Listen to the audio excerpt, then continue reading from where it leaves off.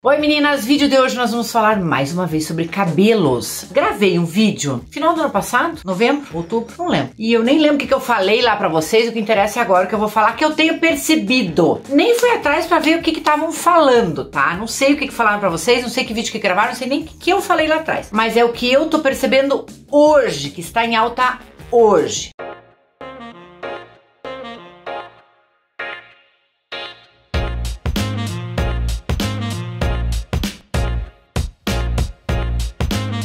Oi meninas, meu nome é Luciane Kaczynski, trabalho no ramo de moda há mais de 20 anos, sou proprietária da marca Corte em Brasil e hoje nós vamos falar sobre cabelos. Eu quero falar para vocês sobre cabelos do que tá em alta agora, já, aqui, não é o que disseram, não eram previsões. Primeiro cabelo que eu acho que tá super em alta, super gente, super, depois da pandemia e vai, vai, vai, que é o natural, tanto na cor quanto no ondulado. Quem é ondulada vai ficar ondulada, não tem nada de alisar, quem é lisa vai ficar lisa e quem tá ficando branca vai ficar branca. As pessoas estão aceitando como seu cabelo é, sem mudar. Elas não estão pintando, elas não estão alisando, elas não estão nada. Elas estão natural. Nada mais do que isso. Uma tendência super forte, gente. Mais uma vez eu falo para vocês, não é só na cor, é na ondulação. Tinha uma febre aí de alisar, alisar, alisar, alisar. Isso que eu tô achando muito legal é deixar como teu cabelo é. Como ele é, sem mexer, não é nada passar produto para ficar mais liso, mais isso, mais aquilo. Não, produto para acentuar a forma natural que é o seu cabelo. Essa é a primeira tendência. A segunda tendência que eu tenho visto muito é o cabelo, principalmente no jovem, o colorido, o azul e o rosa. Tenho visto muito, mas não só o jovem, tem uma mulherada aí que tá adorando. Descolorir o cabelo e deixar ele rosa, um tomzinho de lilás, um ou azul. Tem pessoas que estão ficando com o cabelo direto assim, tem pessoas que estão usando por um determinado tempo só para se divertir. Então é uma é uma coisinha assim, tô afim de me divertir, vou inventar uma coisa diferente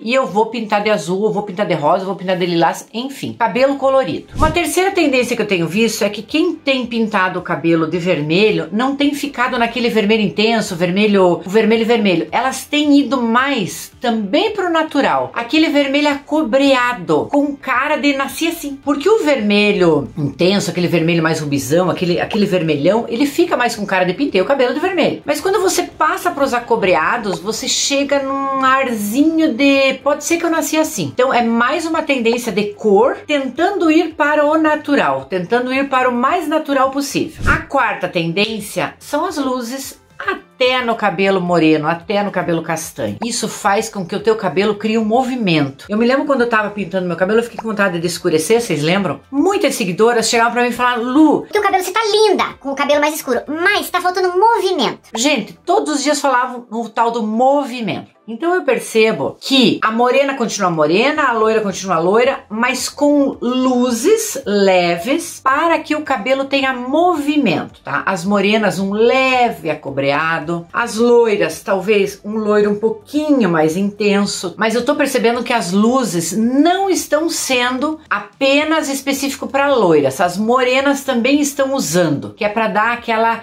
leveza, para dar aquele movimento no cabelo. E a última tendência é a raiz esfumada. A raiz esfumada é o que eu tenho, minha gente, meu povo. A raiz que eu pinto da cor que seria o meu cabelo, que já não é mais dessa cor, é branco, né? Então eu pinto do louro escuro e dou aquela esfumada e faço luzes nas pontas. Para que que serve uma raiz esfumada? Para você esconder o branco, quem quer esconder, e para facilitar que você não precisa demora mais tempo para você pintar. Então se você deixa crescer, deixa crescer, deixa deixa crescer o teu cabelo e não quer fazer mais luzes, aquele esfumado, ele vai indo junto, ele continua bonito o teu cabelo. Não é necessário você estar sempre fazendo luzes. Então essa é a raiz esfumada. Eu percebo muita gente colorindo a raiz, esfumando assim, faz as luzes, mas não fica as luzes desde a raiz, tá? Tem essa raiz esfumada. Tá bom, gente, isso é o que eu tô percebendo agora. Agora que eu tô vendo que tá todo mundo usando, então não me lembro o que que eu falei no outro vídeo lá em outubro, novembro, tá, gente? Mas é tendência de agora, que eu abro o Instagram e vejo, vejo, vejo, vejo. Deixa nos comentários do vídeo qual é essa. Você tá usando alguma dessas tendências? Você gosta de alguma delas? Ou tem alguma que você não gosta? Deixa nos comentários aí que eu vou adorar saber. As polêmicas, né? Curte, comenta, se inscreve no canal, ativa o sininho, manda pras amigas. Não esquece que você pode estar assistindo o meu vídeo, mas não está inscrita no canal. Você vai lá e clica em inscrever-se. Clica no joinha também, que facilita a pessoa aqui. Tá bom, meninas? Espero que vocês tenham gostado do vídeo. Um beijo e tchau.